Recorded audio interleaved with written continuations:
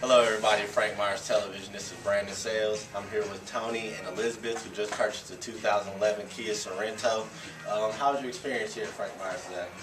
It's been outstanding. Outstanding. Uh, what about the car you guys purchased? How I am like it? just totally pleased. Same here. Well, what we like to do here is hit our old traditional gong here. Um, so if you would, on the count of three, go ahead and strike that for me. One, two,